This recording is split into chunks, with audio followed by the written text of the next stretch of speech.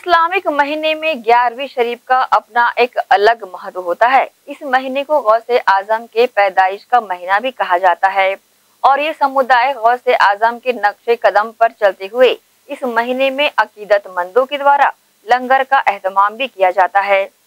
Islamic calendar के हिसाब से ग्यारहवीं शरीफ का महीना अपना एक अलग मरतबा रखता है क्योंकि इस महीने में गौसे आज़म की पैदाइश हुई थी और उनके द्वारा अपने घर पर हर रोज आने जाने वाले राहगीरों एवं एवं जरूरतमंदों की मदद करते हुए उन्हें भोजन कराया जाता था, जिससे सीख लेते हुए गौसे आज़म के पैदाइश के महीने में मुस्लिम समुदाय भी आम लंगर का एहतमाम किया करता है। ऐसा ही लंगर कौमी एकता कमेटी के द्वारा सेक्टर छह जामा मस्जिद के पास लगाया गया। लगातार कई वर्षों से कमेटी द्वारा यह आयोजन किया जाता रहा है और ऐसे आयोजनों में ढाई से तीन हज़ार की संख्या में लोग लंगर का स्वाद चखते हैं। कमेटी के द्वारा अन्य मौकों पर भी ऐसे लंगर का आयोजन किया जाता है। इसकी जानकारी कमेटी के नुमाइंदों ने मीडिया को दी है। गौस पाक का फातिहा है। हर साल यहाँ कौमी एकता और मुहर्रम अल्लाह कमेटी इसमें आयोजित करती है। ये आठवां साल है। हर साल यहाँ लंगर होता है और ग्यारहवीं शरीफ में ही होता है। इसके बाद बाबा निजामी गौरस होगा और दो दो लंगर हमेशा हासिल करते हैं हम लगातार। लोगों से दुआ कर रहे हैं अल्लाह रहम करम रहे, लोग अच्छे से रहें और कहीं कोई वो ना हो। और सब अपने मिलजुल के रहें, कौमी एकता कमेटी का लंगर है ये। और इसमें सभी धर्मों के लोग शामिल हैं।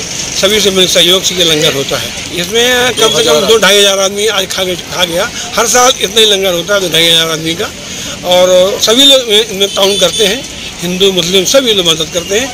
ऐसा कुछ एक विषय का नहीं है। कौमी एकता कमेटी का नाम हमारी। कौमी एकता कमेटी आयोजित करती है।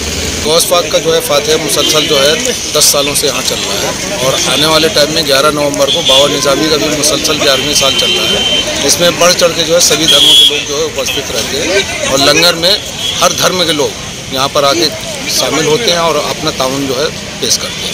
जैसे कि आप लोग जानते हैं कि ये जो ग्यारहवीं शरीफ हम लोग मनाते हैं, वो अब्दुल कादिर इब्राहिम साहब रहमतुल्लाह है जो बगदाद में हैं उनकी याद में मनाते हैं, जो इसी महीने में उनकी पैदाइश का वक्त है और इसकी खुशी में हम लोग ये ग्यारहवीं मनाते हैं। और ये महीना पूरे ग्यारहवीं का महीना है और इसमें हर जगह, सब जगह ग्यारहवीं का अहतमाम करते हैं, जिसमें कि आज ये प्रोग्राम कौमी एकता के कमेटी के द्वारा रखा गया, जिसमें कि सभी लोगों के धर्मों का इसमें आपका सहयोग था। और इस सहयोग के माध्यम से हम लोगों ने ये लंगर रखा था और ये लंगर माशाल्लाह दो ढाई हज़ार लोगों का लंगर था और बहुत अच्छे तरीके से इसमें सभी लोगों ने अपना हिस्सा लिया। कौमी एकता कमेटी एवं उनके सहयोगियों द्वारा आम लंगर का एहतमाम कर गौसे आज़म के फरमान की तामीली की गई एवं उनके द्वारा लगाए गए लंगर में सर्वधर्म समुदाय के लोगों ने अपनी उपस्थिति दर्ज कराई। ग्रैंड एशियन न्यूज़ के लिए भिलाई से संतोष शर्मा की रिपोर्ट।